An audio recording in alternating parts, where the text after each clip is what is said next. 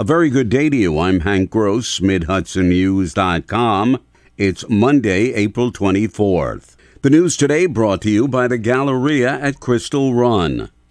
A plan to place refugees who were sent to the city of New York at SUNY New Paltz to attend classes and live in the county has yet to be formalized, SUNY Chancellor Dr. John King told Mid Hudson News. King said the city of New York would pick up the tab to house the students at the college dorm and fund their tuition at the Loch Sheldrake campus. The idea is uh, where there's an opportunity for folks who are refugees to gain additional skills so that they are able uh, to support themselves and their families, uh, we should try to be helpful. Uh, but we're continuing conversations with New York City about the exact details uh, and have not yet completed an agreement with them on how we move forward. The dormitory at SUNY Sullivan faces a rather high vacancy rate making it ideal to use the refugees, officials say. The number of jobs created in the state year over year in March were 2.8% higher than the same month in 2022, says the state labor department. In the Hudson Valley Catskills, Sullivan County jobs grew the most at 3.6%. Ulster County came in a close second at 3.4% job growth. The Orange Rockland Westchester metro area saw jobs grow at 1.8%. The Dutchess Putnam Metro Division lost 2% of its jobs in March, according to the Labor Department. The State Public Service Commission has released a critical audit of Central Hudson Gas and Electric Corporation, making recommendations related to strategic planning, billing, and information systems, project management, and benchmarking. The state agency said the investigation into the utility's customer billing problems remains ongoing.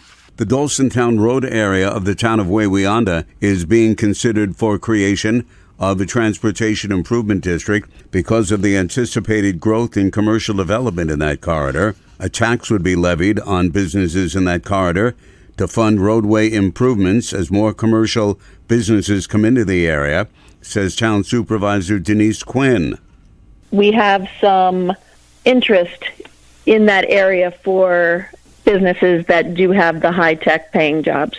So we're hoping we can get some of those businesses in that area, which would be a great benefit to the town and the surrounding businesses.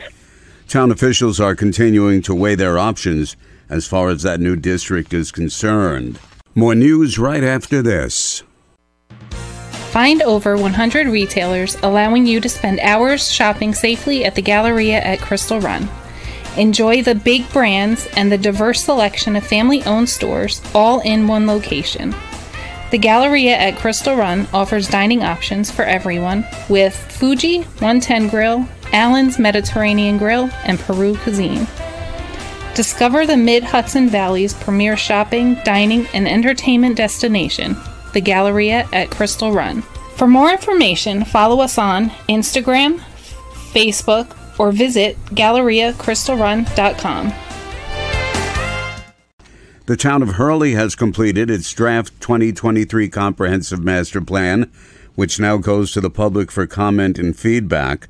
The 2023 2033 Town Vision reviews several components they include preservation and protection of the town's scenic beauty and rural character by respecting its environs, its natural resources, climate, history, and small town atmosphere. It allows incremental, sustainable, well designed, and community scale neighborhood expansions that are consistent with the town's vision of maintaining a small, locally oriented, socially vibrant, creative, and connected community and it respects the town's autonomy to pursue its vision. The revised draft update will be subject to a public hearing and a state environmental review. Following those procedures, the town board can move to adopt the plan. Residents say it sounded like a freight train when a suspected tornado tore through the Roscoe and Callicoon Center areas of Sullivan County Saturday night. Damage appeared to be in a straight line going from southwest to northeast. The strong wind gusts knocked over utility poles.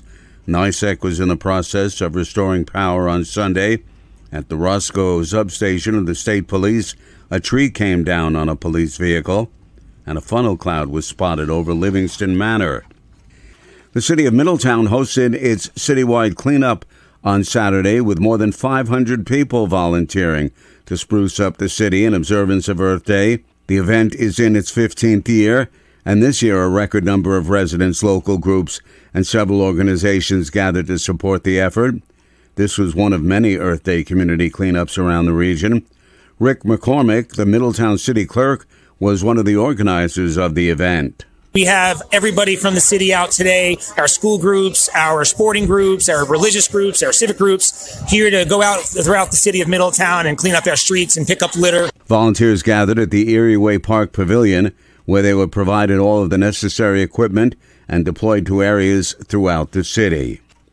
I'm Hank Gross, MidHudsonNews.com. The news today brought to you by the Galleria at Crystal Run.